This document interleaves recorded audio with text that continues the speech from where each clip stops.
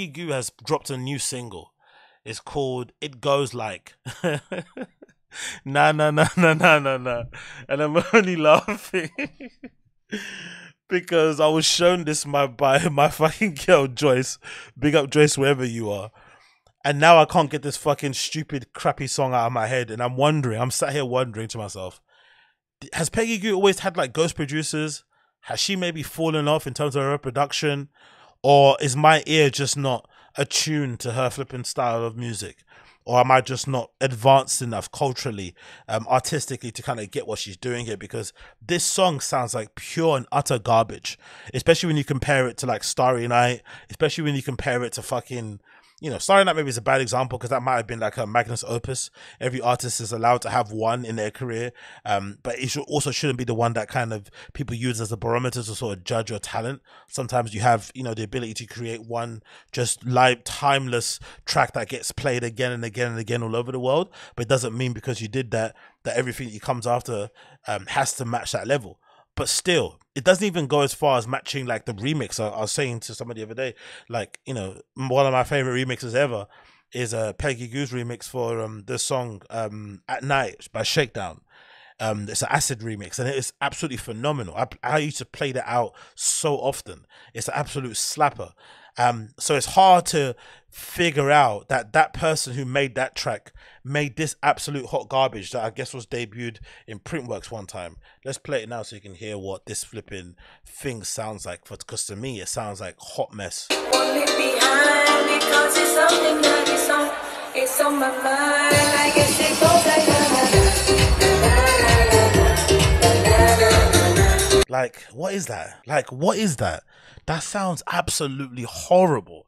And I don't know if it's maybe me that I'm just not attuned to it and it might end up being a summer hit and a summer smash, but I just can't see it. It sounds like the kind of thing that's going to age terribly.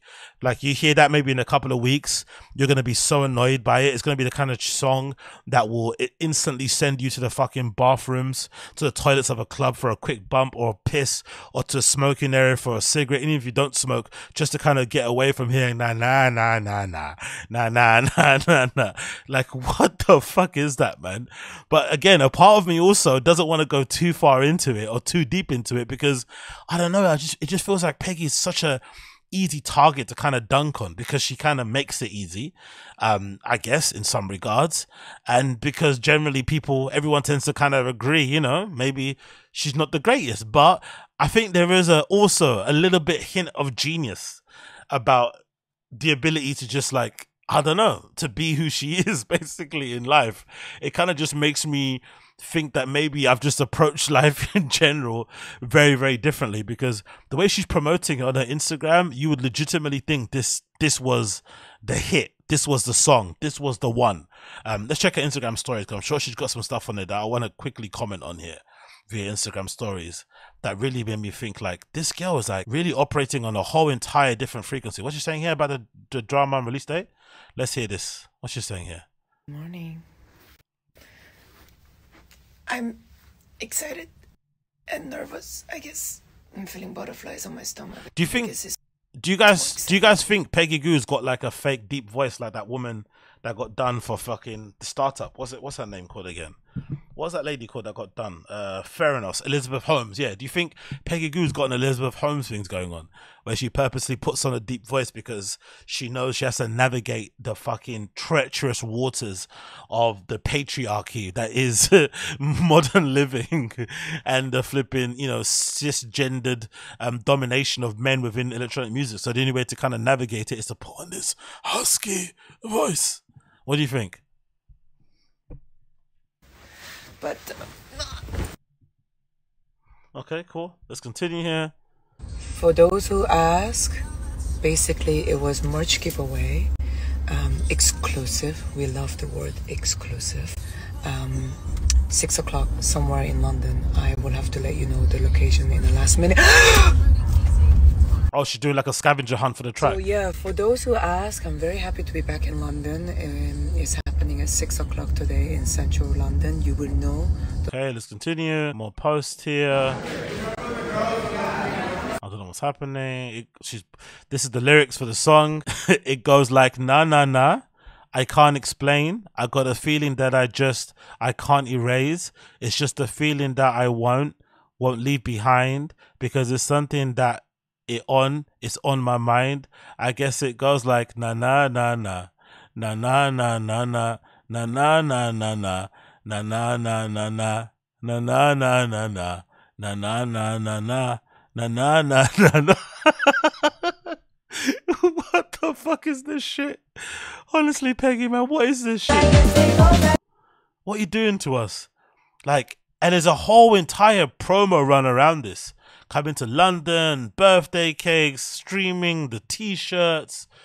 and whatever. But she's got a very clean tongue, though. She definitely scrapes her tongue. So big up, big up Peggy on the hygiene there. Good. We'd like to see a good clean tongue. Um, congratulations, cake in bed, balloons at some fancy hotel, cover art, flowers from people people sending her flowers for putting out a single. Like you love that for about her. She kind of looks like one of the characters from the Flintstones here, isn't it? With the hair and the glasses and the pearl necklace. No, she got someone from the Flintstones. I actually thought this was fancy dress, but I guess it's not. I think this is a Vivienne Westwood top. So my apologies if it's not fancy dress, but she kind of looks like someone from the Flintstones a little bit here. She seems happy. And she's got dancers.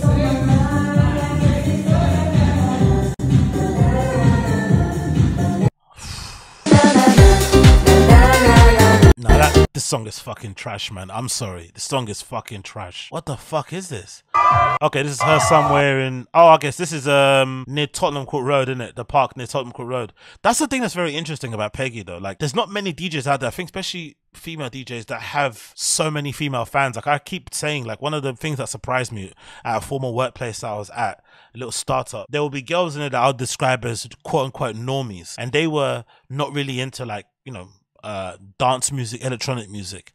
But one thing they would always do whenever she would play at fucking Village Underground or anywhere around the Shoreditch kind of area, maybe even XOYO, I'm not really too sure. But I remember them all buying tickets. Like, I don't know, 12 plus girls in this office would all flip and get dressed after work to go and see Peggy Gou fucking DJ.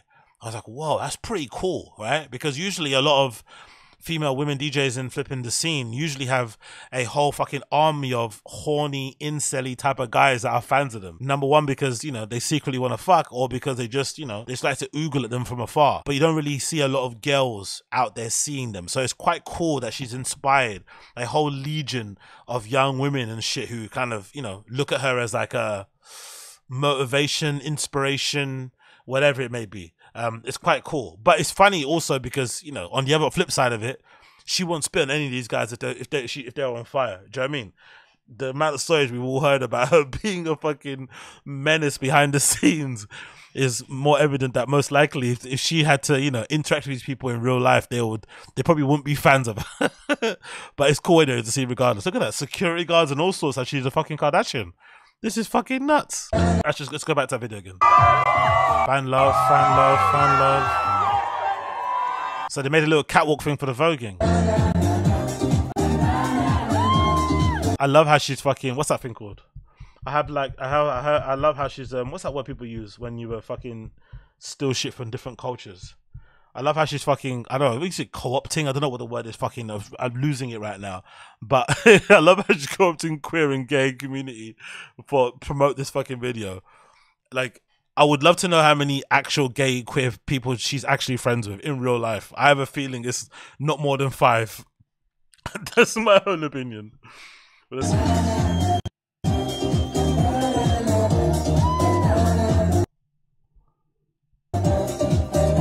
Song is so trash, man.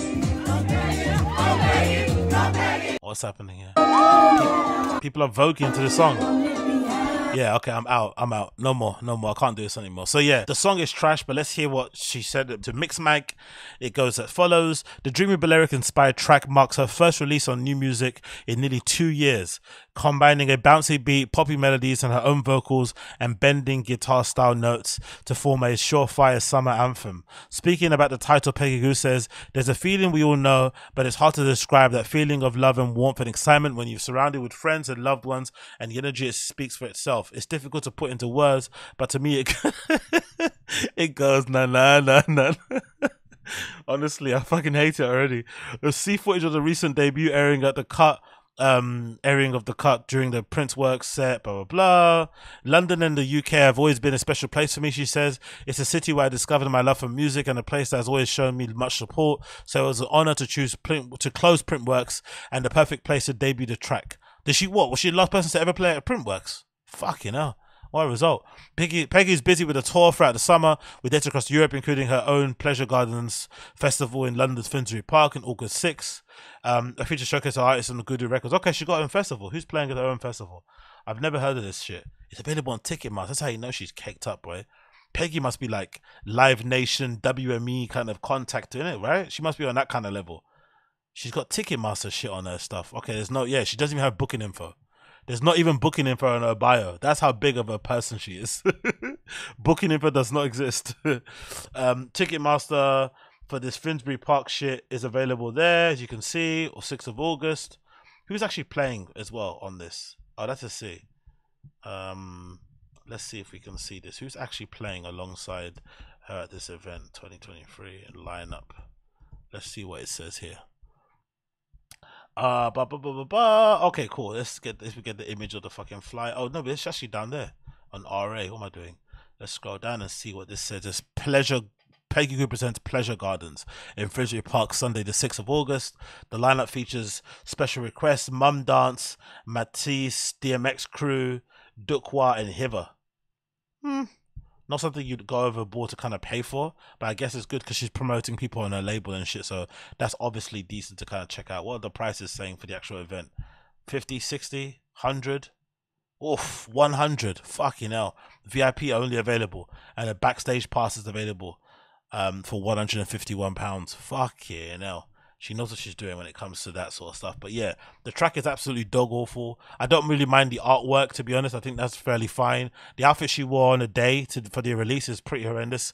She looks like a character from the Flintstones, but I feel I really like the vibe of this outfit, and even the artwork itself looks really good. She's always got really good art direction and stage design and shit. But it's just a shame the fucking music is just so underwhelming, which is surprising. Again, like I said, because Starry Night at home um remix. Um, there's another one too. Um, what's that one called? Um, it's I think the title is like Korean. It's like In- Ingane or something. I forgot the title track or what it was called, but I remember that track being fairly decent.